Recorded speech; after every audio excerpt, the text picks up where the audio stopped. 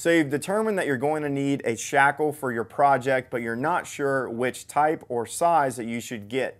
In today's video, we're going to go over the different types of shackles and which sizes that you're going to need for your application. If you like the type of instructional content that you see in this video, don't forget to give us a like and subscribe to our YouTube channel for more helpful rigging videos.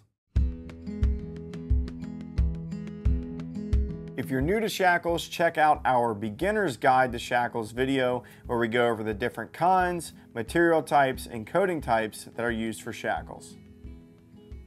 So in determining what type of shackle that you're going to be using, you're going to need to make sure that you select the shackle with the right type of bow. And that is going to be based on what you're going to be connecting your shackle to and how you're going to be using that shackle. So to start, for inline types of loads, especially where you're going to be using chain, you want to use a chain D shackle.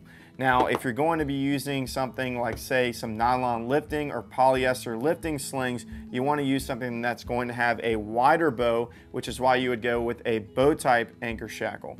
And then for just about everything else out there, whether it be attaching into other rigging fittings, in the soft rope, in the lifting slings, into a, maybe a steel cable rigging assembly, you're gonna be using the ever so popular screw pin or bolt type anchor shackle. So when you're selecting the right type of pin style for your shackle, you wanna take into consideration whether or not your application is going to be what we would consider non-permanent or semi-permanent for a semi-permanent type of application, I would recommend going with a shackle that is gonna have a bolt type pin. And so a bolt type pin is basically, it's a pin that goes through the ears of the shackle and then at the other side, the pin is threaded. You're gonna thread on a nut and then that nut is gonna be secured to the pin by the use of this little retention pin that you see right here. And basically, it's semi-permanent. So you can leave it up. You don't have to worry about that pin ever falling out. And I really recommend using bolt type anchor shackles for things like an anchor on a boat where you're gonna be handling that anchor and chain with that shackle connected to it very often, or maybe even in permanent lifting or rigging assemblies where you never want that pin to ever come out of the shackle.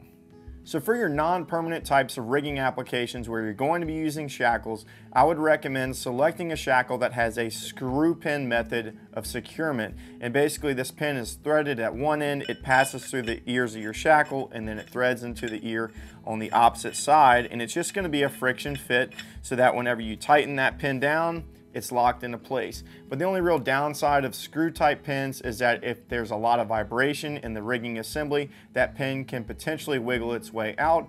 And a worst case scenario is that you might even lose the pin.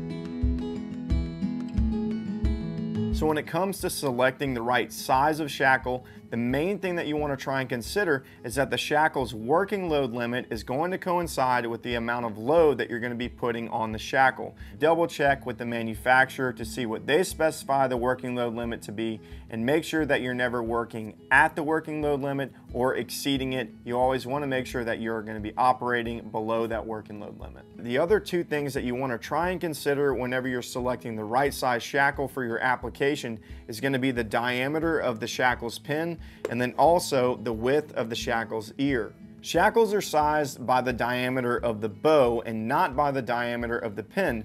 So whenever you're selecting the shackle, you want to double check to see what the pin diameter is going to be and then make sure that the size of that pin can easily pass through the other rigging fitting or attachment point where you're going to be attaching the shackle. And then whenever it comes to the bow side of the shackle, you want to make sure that the width of the ears of the shackle can easily pass through so that the bow can then be attached. So for this example, let's pretend that we have our eye bolt that's mounted onto a mounting plate. And then we need to be able to attach this turnbuckle to this eye bolt using a shackle. So in this case, I'm gonna try and attach the bow of this shackle to our turnbuckle. So I'm gonna make sure that that ear is small enough, it'll pass through the eye of the turnbuckle, which it does. Then after that, I need to make sure that this eye bolt can then attach into the pin side of the shackle.